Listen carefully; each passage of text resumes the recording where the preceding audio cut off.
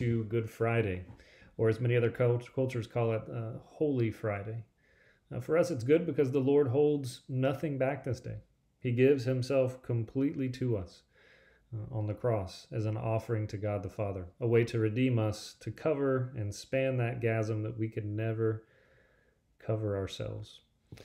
And so, as we come and begin to ask a question, we see He held nothing back from us. But our question today is, and the final question for this week, is what are you holding back? What are you holding back from God? Is there some piece of yourself, some part of yourself, some mangled, broken piece of ourselves that we may be holding back?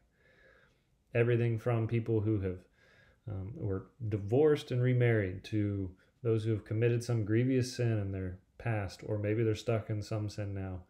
Maybe it's some situation. Maybe you're just angry at what role God has given you, some something external that God has placed in your life that you can't control. And so maybe that's something you're blaming God for. And in doing that, well, I'll hold something back. Well, I won't do this or that.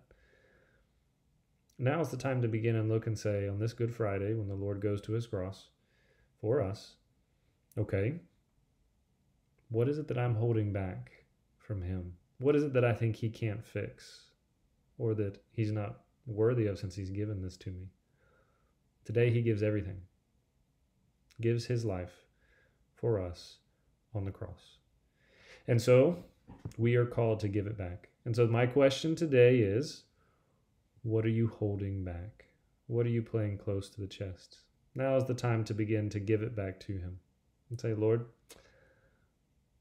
I can see it, but now I give it to you and I want you to begin to help me work through it.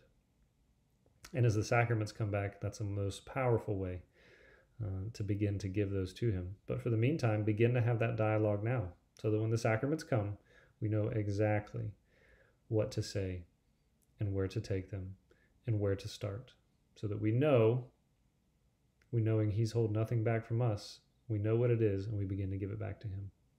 So as we go into the tomb with him today to then rise again on sunday at easter Take that with you and ask that question, and then let Him bring it to new life on Easter Sunday. So that's the end of our reflection, reflection questions this week.